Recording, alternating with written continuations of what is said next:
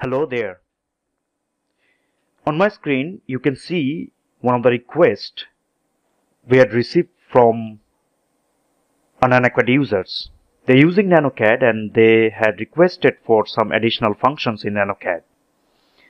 What they want is to put one sequential variables before each and every linear dimensions they use in a drawing. So this is how they actually want the dimension should look like. D1 for this one and D2, D3, D4 and so on. So this is how they actually want to identify one specific linear dimensions in the drawing. So in NanoCAD we can basically manipulate to some extent and provide this kind of additional functions to the users to enhance their traditional CAD work. So let's see how we can provide these kind of solutions in NanoCAD.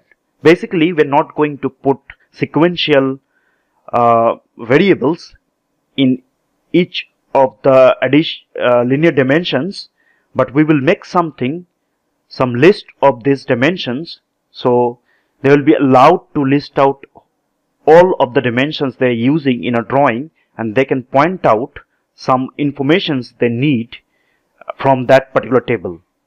So go to NanoCAD now. So I, am just uh, using NanoCAD Pro 10. So I have I have NanoCAD uh, Pro 10 installed. As you can see, I have NanoCAD Pro 10. So I just uh, go to open and use this file. So where I have some geometrical primitives, as you can see, I have four different rectangles. I have one inclined line and table. So this table is basically one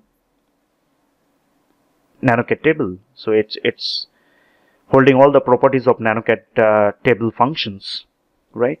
So here, as you can see, that I have this rectangle and these are two different uh, one is uh, horizontal and the vertical linear dimensions are listed in the table right?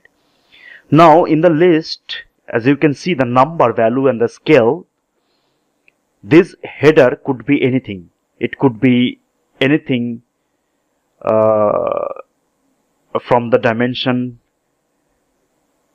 styles. All the variables you can set in this list depending upon your need. So basically now I need the dimensional value and the scale of that particular dimension style. It could be even the dimension style in the list.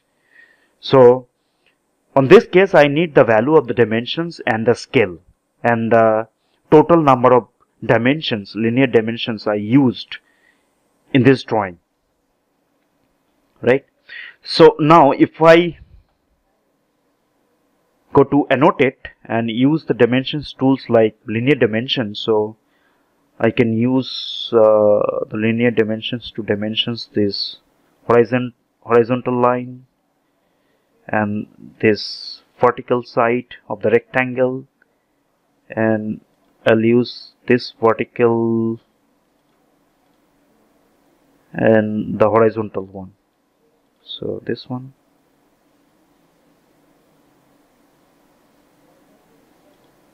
right so now even for the inclined line if I uh, try to find out the linear length between this uh, end start and end point so this is the length. So if I move out from the dimensions command so it should get listed automatically. So let's press escape so now it is listed right? Suddenly if I need to remove one dimension say I'm removing one dimensions so uh, the list should get update automatically. And now if I need to use uh, stretch functions to make the rectangle even bigger so the dimensions will update that's for sure. And uh, the value will change and that should reflect. So you can have a look on the table the moment I click it should get update so as you can see the number sixth linear dimensions were updated automatically right? So this is working as expected. Uh, now if I go to this align dimension so I'll try to use these dimensions to dimension the align objects line and make escape out from the command so it is listed now right? So this list can be sent to anyone separately from the drawing as a document format. For instance you can use excel and other different document formats supported by nanocad so these are these are basically uh, some advanced functions that we can use in nanocad to generate th this kind of tables and uh, you know help the CAD users right?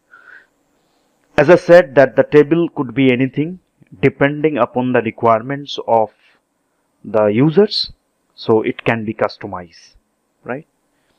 So if you if you are interested of this kind of functions and you need more informations you can always comment or you can send request on uh, to support to know more about this kind of functions in NanoCAD. Thanks. Thank you very much uh, for your time. See you later. Bye-bye.